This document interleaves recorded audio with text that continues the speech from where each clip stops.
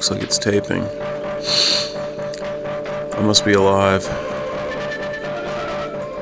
God, I'm not sure I should be. Man. Too much of the bottle.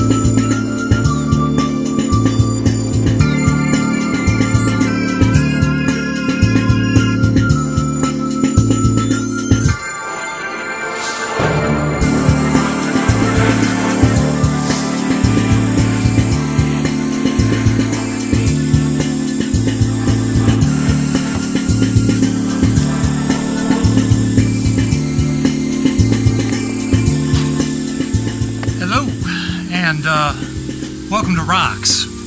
This is a little television show we've been producing since, uh, well, 1992 actually. We started off in a basement in Bloomington, Indiana, J&B on the Rocks, just two drunken idiots ranting at the video camera.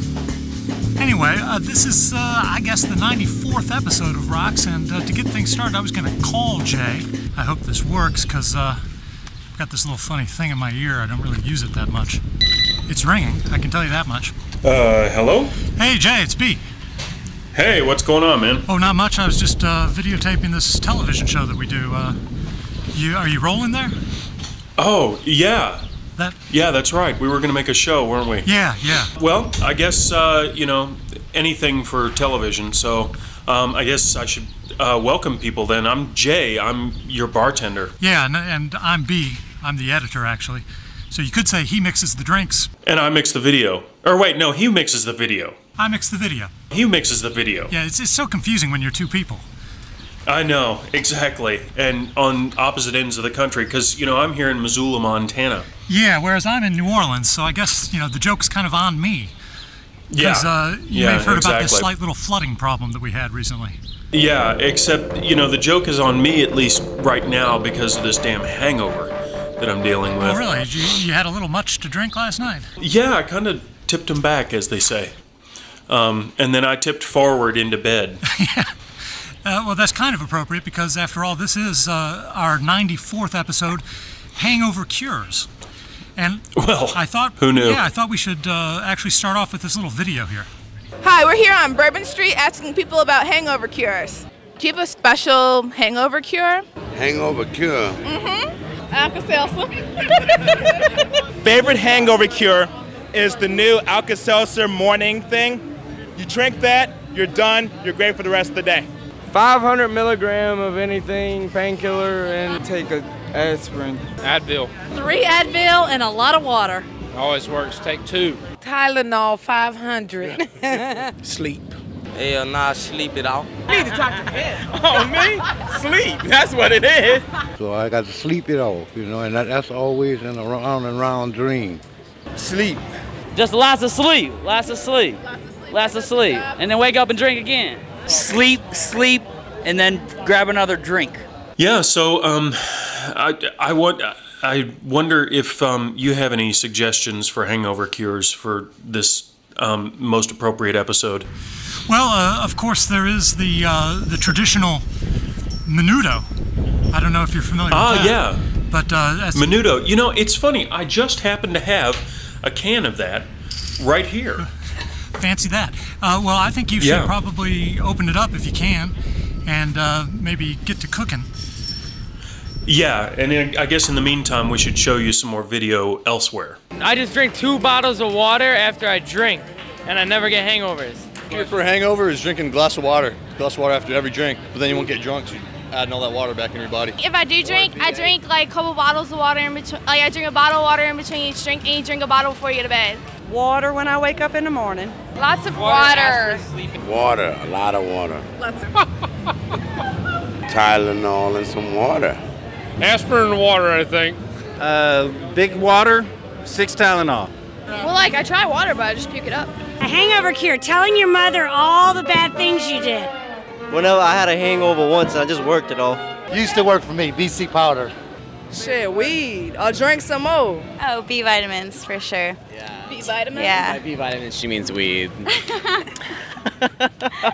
my god. Yeah, it's called heroin. Like I, I'll do like a bump, and then I'll do a drink, and another bump, and another drink. And most people in New Orleans do that because they do they do bumps to drink. That's like it's an alcoholic thing. You know what I'm saying? So, but you have to make sure that you're you have enough water in between there. Like you do a water drink bump, water drink bump, water drink bump. How's it going, Dave? Just peachy. Oh, you want me to open the can? Sure. Okay. You know, help a brother out when he's hungover. Wow. This is fascinating video. I'm sure it is. Ew. Oh my god, that looks That horrific. ain't glue, man. That looks horrible. It smells. Yeah, maybe you should just put the cap back on it. um, okay, well, we'll try to heat this stuff up and see if it smells any worse or any better. Um, and in the meantime, again, more video. Vid, vid, video. I, I'm in bed all day if I get a real bad hangover, but I just drink a lot of water and it helps it go away. Take some Tylenol or something. Aspirin and a dip in the pool. Got to go to the pool. It's got to saturate yourself. Got to got to go to the pool. A hangover cure? Celery and blue cheese. Eat a full meal before you pass out. That's the only thing I can say. A lot of bread. Yeah, a bottle of Pepto. Uh, sapphire oil. What is sapphire oil? It's an oil. It's made from the sapphire slap sapphire sleeve. Eggs. Eggs? Yeah. Somehow they just seem to really kind of fill the soul, and that's what's missing after some uh, some good drinking. Finger. Finger it. all Puke it up. Puke it up. I get up and walk. I get up and walk like four or five miles if I have a hangover. You gotta get a glass of water, a little bite to eat, and wild sex always does me right. Sex. Sex is a good hangover cure. Blowjob. When I give someone a blowjob and I drink their cum, that makes me sober up. Makes me feel better. Don't drink cheap liquor. See, the hangover cure is you drink enough not to get a fucking hangover. Okay? Thank you. I don't have any. No, I'm not sure though. I don't think you can cure a hangover.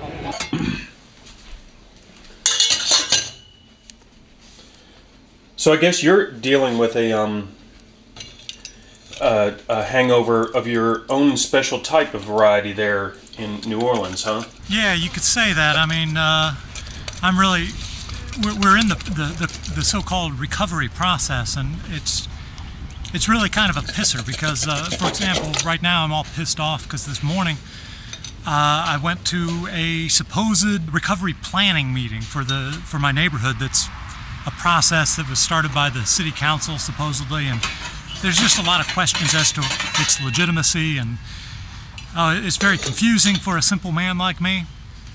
I just don't really know what to make of it. But uh, yeah, everywhere you look in New Orleans right now, uh, there's you see lots of pain. It's like the whole city is hungover, and uh, and and hopefully, well, we need we need some serious some serious cures down here. I don't think I don't think a can of Menudo is going to cut it for us. A favorite hangover cure? Uh, open up another drink. Oh, I don't really have a cure for the next morning. I just drink again. It's called Bloody Marys. Yeah, with a lot, a lot of hot spices. More beer? More beer. Cheap beer. Yeah, somebody told me you should mix beer and tomato juice. Uh, beer. Definitely beer.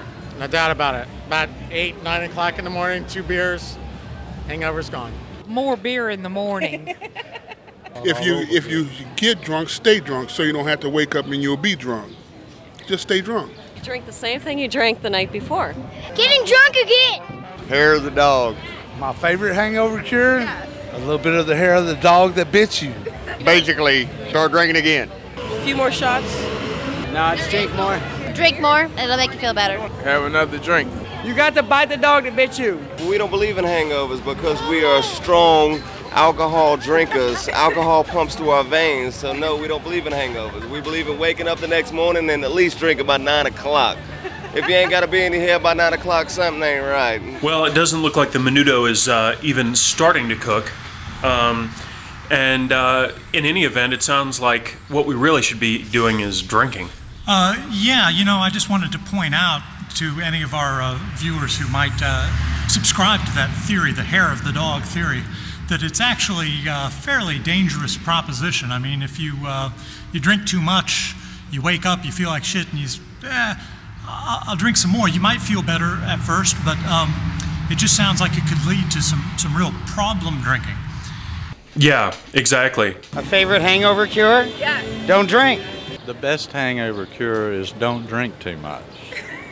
That, that would be the smartest thing to do. First of all, not to drink too much. Don't drink? Yes. Do you know what causes hangovers? Hey, Victor, what causes hangovers? Dehydration. Dehydration. Dehydration. Lack of oxygen. Loss of oxygen to your blood, probably. Uh, lack of blood to the brain. Uh, lack of sugar or something. Sugar level drops in your blood. Lots of sugar, dehydration. Stress. I have no clue. Having too much fun. Drinking too much alcohol. Yeah, this right here. Why do they get hungover? Probably because they drink too much. Alcohol. You getting drunk. I guess uh, you know the blood and uh, alcohol and the sugar go to the head and get it cause a headache. So I'm going to check on this menudo again, see what's going on here. Oh my god. It's actually like boiling, but it's still in a big lump, so I think I need to like crush it down or something. Do you know anything about how this stuff is made? It's got these big chunks of um stuff. Well, maybe it's better if you don't know what's in it. Okay. I think it All might be one of those kind of dishes. Yeah. Okay. Well, it looks like it still needs to cook a little bit more. So uh, in the meantime, maybe we should we should check on uh, something else. Alcohol and lack of sleep and other chemical stuff that's up in my body probably. Too much alcohol. Drinking a lot. Toxins in the alcohol. alcohol. I'm assuming drinking bad liquor. Yeah, having too much fun on Bourbon Street, that's for sure. Too much alcohol. Lack of drinking. Did you stop? Then you need more. Is it dehy- dehydration or something? The brain or something like that? Dehydration. Dehydration. Dehydration. Dehydration, yeah. Dehydration, maybe. I don't. I'm not sure. It's a lack of uh, water, isn't it? Dehydration. What it does is you're just your brain can't handle the fact that the alcohol has just dehydrated your body so much. Actually, you know what causes them? It's a person who can't handle their liquor. That's it's an innate thing, and we don't have that problem here. So we're gonna see if this stuff is actually um, edible or potable, or I suppose is soup edible or potable? I'm not really sure. It depends, I think, on how soupy it is.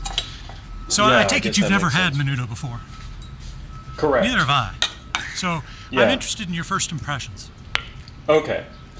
Well, I'll, just get a small amount out here. This stuff, it doesn't smell too bad. It actually smells kind of bland. Um, there's these chunks of some kind of like semi-meaty stuff in it. I think that might be the tripe. This feels like fucking Fear Factor. Okay. Yeah, speaking of Fear Factor, I just about fell to my death just a second ago.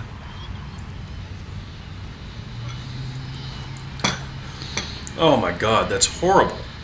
No wonder it's supposed to be a hangover cure. It'll make you puke again until all your guts are empty. Menudo, which is a, a, a Mexican dish. Tripe and uh, uh, hominy and red chili. It doesn't work, but it tastes damn good. It does work. Does work? Yeah. yeah. Menudo? It's made out of um, cow stomach, tripe, and beef, and pig's feet, and hominy. Hominy, and it's like a uh, from Mexico, and it really works. And most people can't get it down. Wow, that's that's horrific. Um, do you have any other suggested hangover cures? Uh, You know, at this point, um, hmm, pickled herring I've heard is good. Oh yeah, pickled herring. You know, it's funny. I actually have some of that too, as luck would have it, in my refrigerator here. And frankly, I'm a little bit more uh, uh, upbeat about the potential of this, at least as being something edible. Oh, it smells much better than the menudo. God, I'm still about to retch from that stuff. Okay, so we're going to try this then. This is a little fillet of pickled herring in wine. And? Wow, it's kind of sweet and good. It actually doesn't even taste much like fish so much as just kind of like a sweet onion wine sauce. I'm feeling better already. Wow, you want one? Um, yeah. Yeah, here you go. Yeah, that actually doesn't work. No. You know, I don't know if you, the home viewer, have realized this, but actually, I'm not really able to see you on the other side of the screen, just like I can't really give you a piece of that pickled herring, nor can I give it to Editor B. I mean, that's the fundamentally disconnected nature of this television te- televisual medium. My worst hangover, White Russians. White Russians, honest. Yeah, White Russians. They're terrible. It's the milk. That's right. It curdles in your stomach. Yeah, wine definitely does it with anything. Red wine. Grey Goose. Yeah, and some weed.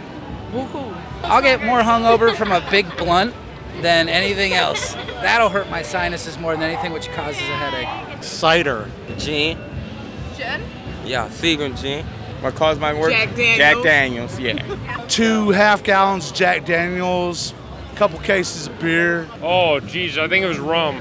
No, I take that back. It was Seagrams. Seven and sevens. Crown and seven.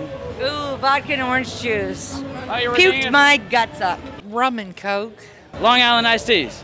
Long Island, The Long Island five in one drink. My 21st birthday, I went out and party at seven bars, had 24 Long Island iced teas. Had beer, beer, wine, and well, that was last night. Yeah. Uh, probably beer. Beer. Tequila. Tequila. Uh, tequila. Probably tequila. Tequila, um, Jack. You know, a little bit of everything combined. A little bit of everything in a big old cup. A whole bunch of different stuff. Bacardi Light, Bacardi Dark, and fruit punch. Uh, and everything else. Everything else? Everything else. I stepped foot first in a three-speed fan and broke it. And they put me to sleep and I don't know what happened. It's anytime I mix things, you know, if I'm drinking like sweet liquors and whatnot. You know. Sugary daiquiris with extra shots or something. Now I've heard the saying that um, beer before liquor, never sicker. Um, and I I think by and large that's true. I don't remember, and that was probably a good thing. Tequila rushed to the hospital, Worst hangover dehydrated. ever was uh, we uh, went and got those mini thins, little white cross. You remember the white crosses? You buy them at gas stations. It's Ephedrine. Okay. Yeah, Uh, it's like speed. diet pills? Yeah, it's like speed for truckers. And um, you, I popped like maybe 15 with some friends, and we went to this club, and they were giving like Jägermeister little tube shots. So it was Ephedrine and Jägermeister tube shots all the way up until about seven o'clock in the morning. I was hungover for four days. Four days. So, so B, who are these people that uh, that are interviewing all these other people? Yeah, see, that was something we, we I was very excited because because you know shooting shooting video all by yourself can be some kind sometimes kind of hard. Like right now, I'm just walking around with a camera in my damn hand, uh, Yeah, me videotaping myself, and there's only so much you can do. Um, Mhm. So I was excited because I got a video posse together, uh, so to speak, and we went down to the French Quarter. This is just before Katrina, and shot all this video. This this uh, man on the street or, or person on the street video, Mhm. and uh, and my crew were uh, some of my friends. You know, Erica, Scott, and Eric. Erica did all the interviewing. You know, putting the microphone in people's faces, asking them the questions. Uh, Eric helped run camera, and, and Scott just kind of uh, rustled up some drinks for us every now and then, Mm-hmm. and generally acted like an idiot. And uh, you know what?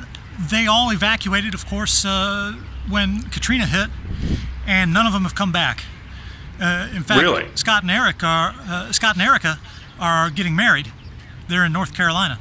Mhm. Um, anyway, we thought that um, we might let them explain where they're at and what's up. Holy shit, man. What's going on, ROX? I'm here in my new apartment in Raleigh. This is what we like to call our FEMA couch. I don't know, what can I tell you? I mean, you really don't want to see my shit. You really don't want to see my couch, and you really don't want to see, like, any bullshit. But what I can tell you is. I don't think we're going back to New Orleans anytime soon. I don't know. Maybe this will work a little bit better if Erica's here. Okay. Hi, uh, this is Erica. I'm in Raleigh, North Carolina. This is where I've been relocated to after the storm. My fiance got a job teaching as a third grade teacher in the city. I ended up actually substitute teaching at that school for a little while in a kindergarten class and then in a fourth grade class full of crazy children. Ooh, oh. But I did learn to love and care about them over time. After that, I worked as a teacher assistant and now I take classes during the day and at night I work um, a job sorting mail, which is it's nice that I, I've, been able to recollect the pieces of my life. I did lose my car and I did lose my job in North in um, New Orleans when I lived down there, which is really sad. Uh, I wish I could move back, which I, I, I can't, but. My speech to New Orleans. I'm just really sad about like so many people that I met in New Orleans I'll never be able to contact. I wish I would have been able to get, wear makeup for this whole thing, but you know, this is me au natural. You know, this is me conclusion. You know, I had a lot of fun there, and I didn't want to. It just, it was one Friday. You know, we. It's our second week of school. It was Friday, and it was it was turning out to be a pretty cool year. You know, I could not believe that out of nowhere, I had to like pick up and leave home practically in the middle of the night. And within a month, I'm in a new state with a, the same job, but just in, in a new place and completely out of my element, completely in North Carolina, completely like missing like the people I had met and I had worked with and that I loved and I look forward to seeing. And I can't see him again. And honestly, it feels like the best way I could describe this is that it's like a family member died. And it's pretty empty sometimes, like when I think about it. You know, Jay, when we started this whole um, episode, Uh-huh. ROX number 94, we actually came up with this idea, you know, pre Katrina, before this disaster devastated my city. Yeah. And uh, the, the idea behind it was well, first of all, we've done a show about uh, drinking alcohol for for many, many years, since 1992, and yet we've never addressed the issue of the hangover, so it seemed like a natural thing. But more than that, the whole country was is kind of hung over. Yeah. From this damn war. Yeah, Yeah. the war. The it's it's kind of like we've had this march to the right all our life, and people have gotten drunk on violence and, and power and imperialism, and uh, and the whole nation now is reeling from the the ill effects of uh, you know really decades uh, of abuse. Yeah. It's true. We asked we asked people on the street about that. Do I think America is hungover? When they come to New Orleans, yeah, yeah. The whole city, the, the whole country, America. Oh yeah. Yeah, I'd have to say a good portion of it. Sometimes. For the most part, yeah. Yeah. Yes. No.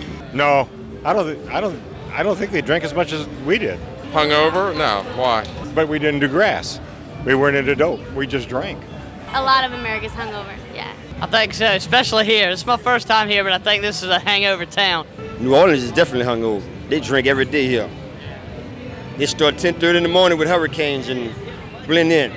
I, America has a lot of things. I don't know if it's if hungover is the number one thing they are. Uh, well, I think the whole Hey, I'm world half- is pretty much halfway there. wasted. Yeah. I think we're halfway there. Absolutely. Everybody would be okay if they just got drunk. Is America? Yes. I don't know. Probably. Yeah, yeah. America's always hungover. Not really. I think America's America's lame. I think America's great. I mean, where else can you, in any other land, walk down the street, drink a beer, 420, and uh, nobody messes with you? I think America needs to like you know keep its nose in its own place instead of other countries, especially with what Bush is doing. I mean, Bush is just doing it wrong. Bush just needs to get the hell out of office. If you work a nine to five job, you're hungover. I think it's delusional. That's what I think it is. From the last election? Yeah, yeah. They hung on now because of the war. Um, I think it's hungover on war. I think basically we're done with it, and uh, we're just waiting for it to end. And you know, it post Katrina, it just seems all the more poignant. I mean, the idea originally that we had was that America was hungover, but now it kind of seems like New Orleans is hungover. Like the hangover is kind of almost a metaphor for what the city as a whole is experiencing. I mean, you know, the, the headaches, the nausea, the disorientation. We experiencing that every day here. Yep. And if this hangover doesn't kill us, uh, hopefully New Orleans will, uh, you know, survive. Yeah. Well, you know, and in the context of what you're dealing with, ultimately, me having a little headache after a night of drinking, it's not really that consequential. And hopefully, people um, watching this show will realize that, you know, life can kind of suck sometimes, but it sucks worse elsewhere. Yeah, yeah. Except for you. Uh, well, I guess we should uh, wrap it up. Uh, is there any closing thoughts that we have? Well, um, I suppose uh, drink responsibly would be one of them. Don't get a hangover in the first place? Yeah, that's that's probably the best hangover cure of them all. And uh, beyond that, of course, this is uh, a television series. Uh, actually, it's just one show in a whole series of programs called ROX. Yeah. And we, we do have a website that if people are interested in finding out more, they can go Or to contributing rox.com. video. Yeah. Contributing video, uh, just watching some of our videos online, reaching out and touching us. Right, in utterly inappropriate ways. That would be something. Yeah. Uh, so, but anyway, the website, of course, is rox.com. Yeah. And people should go there. They can also uh, mail us the old fashioned way at P.O. Box 3241 in Bloomington, Indiana. That's right, 47402. We still maintain that, that uh, mailing address, even though neither one of us lives in Bloomington, Indiana. We're new and old school. That is so fascinating. Yeah. So I suppose that uh, this is wrapping up then, isn't it? Yeah, yeah, yeah. Signing Oh, well. off in New Orleans, this is Editor B for ROX. And and this is Jay. I'm in Missoula, and uh, I hope that wherever you are, you're having a good one. And goodbye. They can write a million books with a million different laws. But as far as I'm concerned, we don't need them at all.